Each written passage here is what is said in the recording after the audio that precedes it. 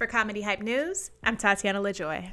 The 2000s was a time where TV sitcoms centered mainly around families.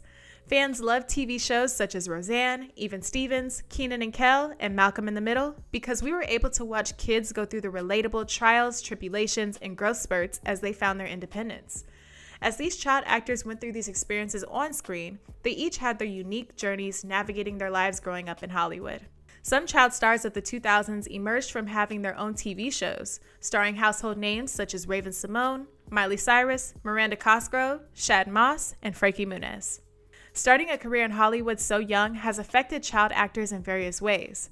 Some have decided to leave the limelight to live a regular life, while others carried their momentum to fame. Stars like Frankie Muniz, with undeniable charisma, incredible work ethic, and magnetic personality, was one of the anomalies that rose to stardom quickly, but we haven't seen much of him since he left his hit show, Malcolm in the Middle. Many people wonder what happened to this beloved child actor after he left Hollywood. Here's what happened to Frankie Muniz. Francisco James Muniz was discovered at eight years old at a talent show in Raleigh, North Carolina. Frankie tried acting because his sister convinced him to audition for a play and booked his first audition playing Tiny Tim in A Christmas Carol for three years. Muniz shot to fame at the age of 14 when cast as Malcolm in Malcolm in the Middle. A show's success can be measured by its income, awards, ratings, reviews, or the number of produced episodes. Malcolm in the Middle checked all the boxes with 151 episodes produced throughout seven seasons.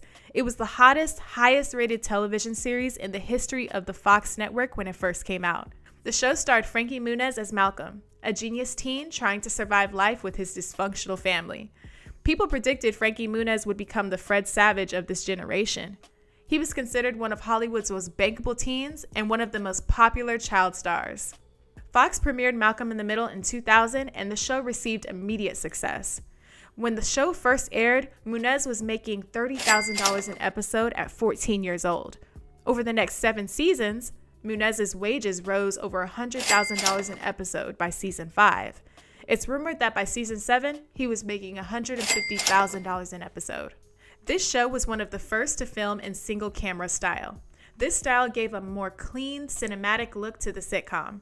The show appeared more realistic, and there was more mobility between shots to use techniques such as panning. The downfall of shooting a single camera is that it is more expensive to shoot, which makes the show more vulnerable to cancellation. Shows such as Friends, Seinfeld, and Saturday Night Live use multicam to film.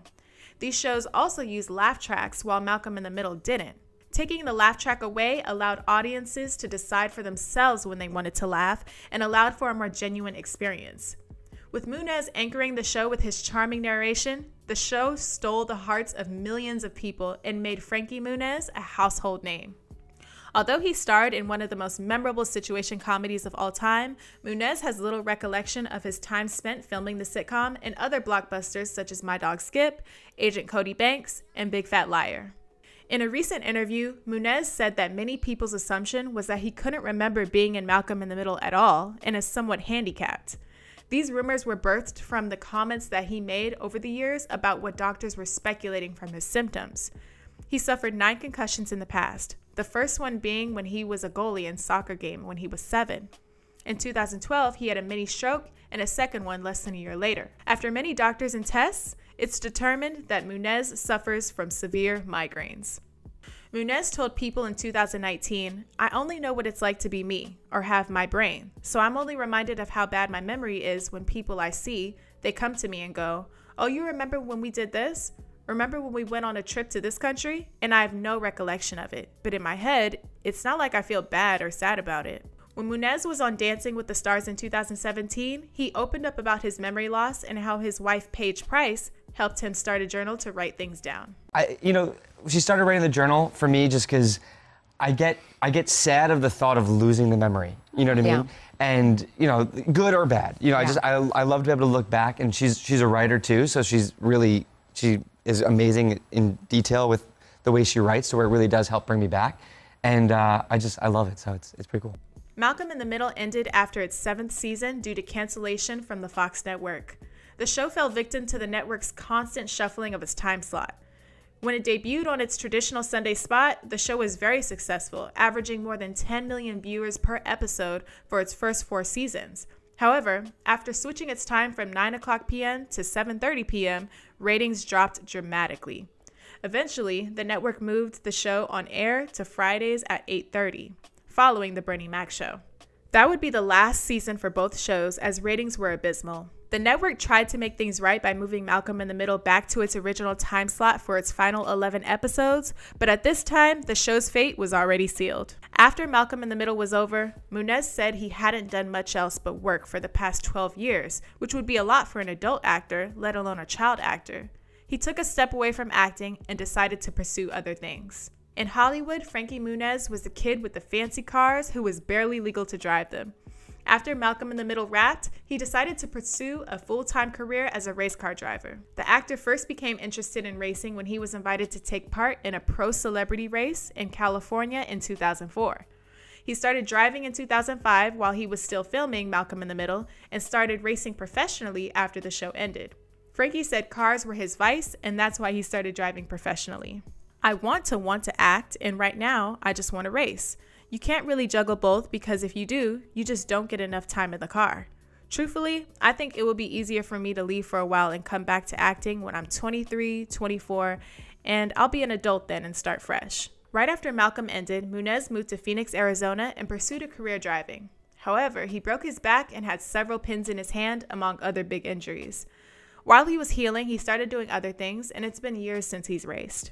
However, in a recent interview, he revealed that he will be driving again in the upcoming year. From 2012 to 2014, Muniz became a drummer for the band Kingsfoil. He hasn't touched a drum set since his last show at the University of Wyoming. He said being on the road was too much for him and recounted how they did 300 shows in 2013 alone. Muniz and his band didn't travel in luxury either. He drove a 50 passenger van himself with a trailer and slept on floors to ensure they didn't spend too much money and maximize their earnings. Although Muniz said he never took a sip of alcohol or did drugs, many child actors inevitably end up with a scandal or two. He was involved in a domestic dispute with his ex girlfriend over past relationships.